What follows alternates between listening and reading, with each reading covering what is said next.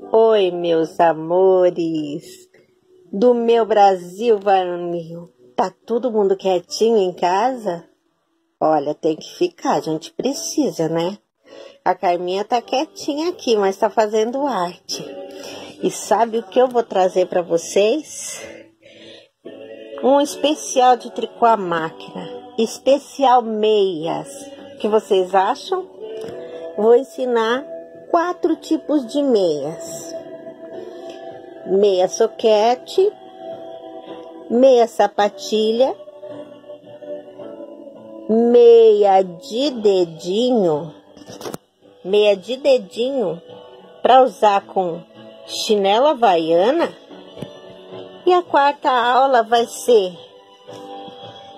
Olha só, gente, que legal meia calça de lã.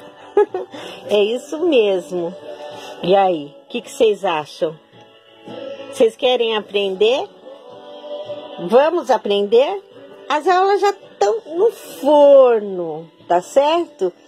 E eu vou disponibilizar uma por dia. Durante quatro dias, vocês vão aprender a fazer quatro tipos de meia e se preparar para esse inverno. São peças fáceis, a meia é super fácil de fazer. A primeira vai ser a soquete e a partir da, da soquete que vocês vão aprender, vocês conseguem fazer a da sapatilha, a de dedinho e a meia calça, tá certo? Então, me falem aí, quem quer aprender, levanta a mão. Beijos da Carminha.